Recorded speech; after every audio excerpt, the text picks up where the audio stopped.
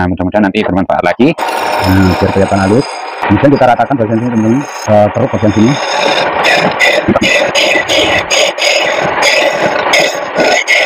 Nah, kita rapikan. Untuk kakinya kita bikin pendek aja teman-teman ya. Nah sekarang kita rapikan bagian lubang ini dulu teman-teman. Setelah itu nanti kita amplas ya. Dan kita potong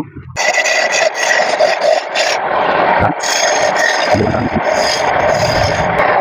setelah dirasa cukup kita tinggal kasih bagian puntungnya teman-teman. Untuk ratakan puntungnya sini teman-teman. Nah ini aja teman-teman ya. Sudah selesai ya. Nah, sekarang kita tinggal amplas ya teman-teman.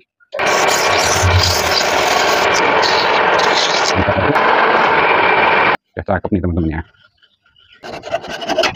Nah ini udah jadi teman-teman ya